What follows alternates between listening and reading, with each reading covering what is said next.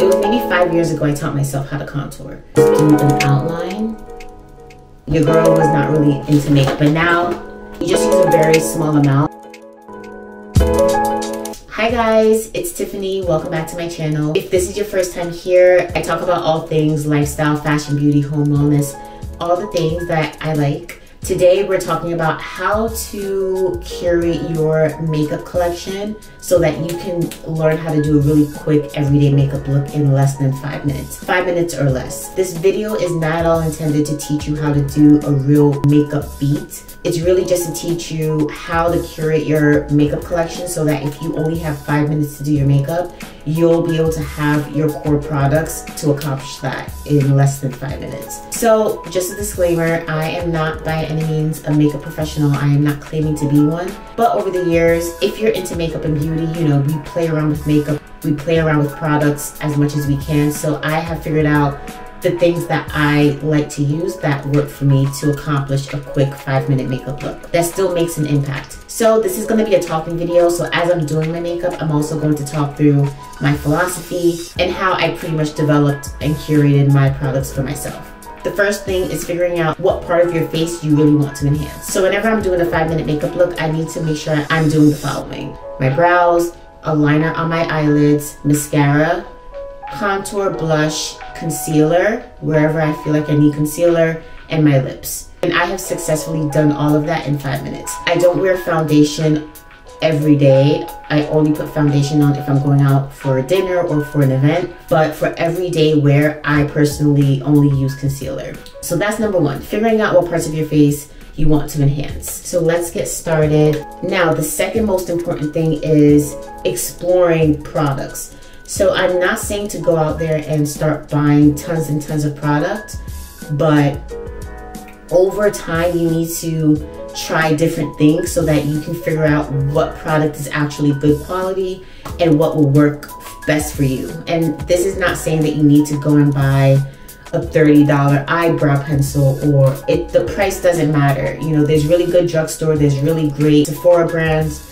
Ulta brands, and also department store brands, depending on your budget, what you're willing to spend money on, but you don't have to break the bank on this. You can find, I have a mix of drugstore, department, Sephora brands. I have a mix of different products. So price point doesn't matter, but I have tried out different things. I've tried out brow pencils from the drugstore.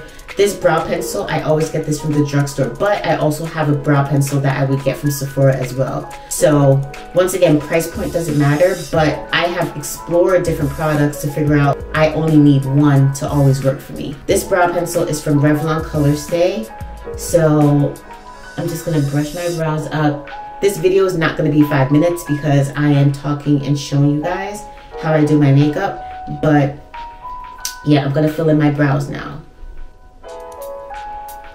When I do my brows, I, in order for me to quickly get it done, I just do an outline of the top and the bottom.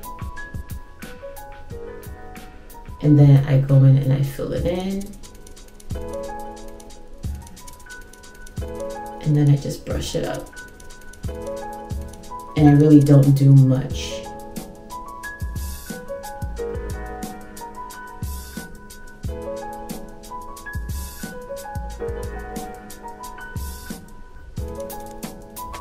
Okay. Brush it up. And I, I like just making it look as natural as possible. So now my brows are done. That was quick. We're gonna go in now with some concealer. I go under my eyes with the concealer and then any other spots that I have on my face.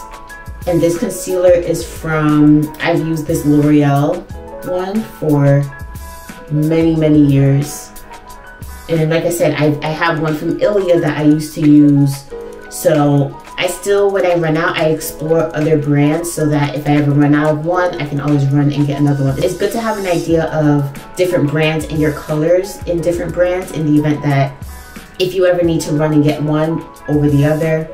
So that's why it's good to explore. But I don't have like 10 concealers because I don't need 10 concealers, if you get my point. So the point of having a quick five minute makeup look is to, like I said, only have your core products that will always work for you.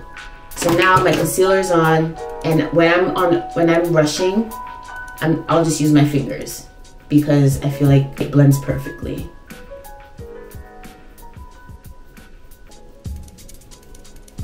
And then I just do on my fore, I just do my forehead so it has some highlight as well.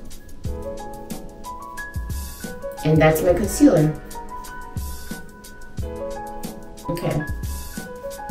So my base is all done. I'm gonna go in and do a very light contour like that. I don't do anything too much. Just blend that in. This one is from Fenty in the color Truffle. You just use a very small amount and it makes a huge impact. Contour is done. And now we're gonna do our eyes. I just line my eyelids. I don't love a cat wing. I'm not really great at using the wet liner. Um, so I'm using my pencil. This one is from Valentino Beauty. I just like doing a thin line on the top of the eyelid.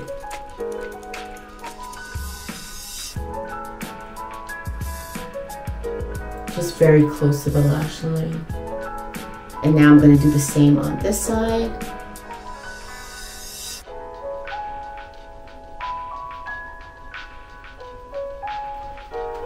Fun fact about me, I didn't I didn't get my first foundation until I was 22. No, I was I didn't try out my very first foundation until I was 20 years old in college. The only makeup I played around with was like Wet and Wild and like my mom allowed me when I was in high school to play around with lip liner and lip gloss and that was it.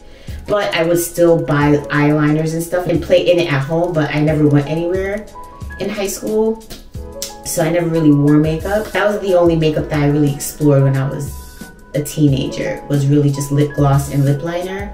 And then in college, I started buying like eyeshadows and stuff. So when we went out at night, I had makeup, but I never wore foundation. I never wore concealer. I think back to my college days and think that I used to, I probably looked so young, like going out with like no makeup on. Um, but yeah, I, I really only got into makeup when I turned 20 and then I started purchasing other things and exploring. I didn't really get into contouring until it was maybe five years ago I taught myself how to contour.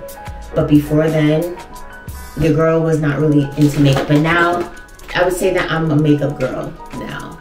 Um, all right, so contour is done. Now we're gonna just go in with a powder. I use this one from Laura Mercier.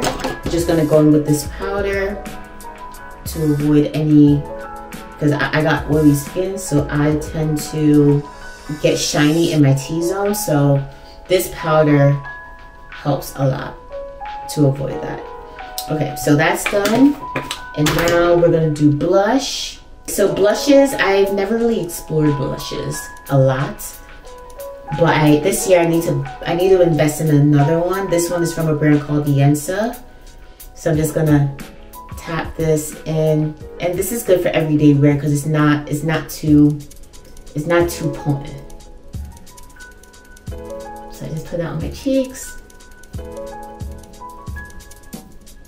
So it gives you like a little rosy look.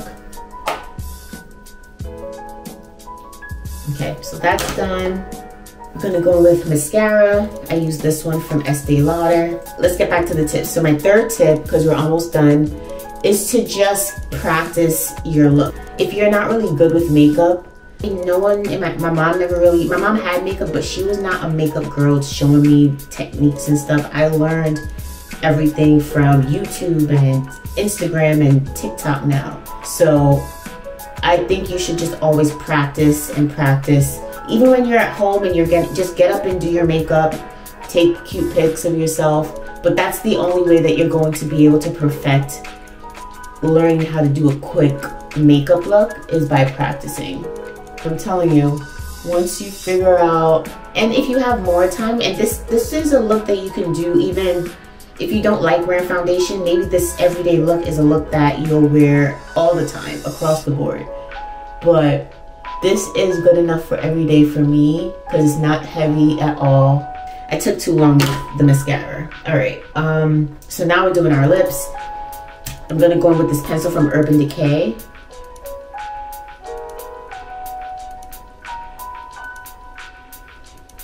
If I don't have lip liner, I feel like my look isn't complete. Because I'll just do lip liner and lip gloss sometimes. Alright. So I'm gonna go with a little bit of my lipstick. So I use this lipstick from Revlon just to make my lip a little bit more pigmented. That's how I do my lip. Okay. So that's my lip. And then, so I will go and do a matte lip like this and call it a day. But I'm gonna do a little bit of lip gloss from Fenty. Just a little bit.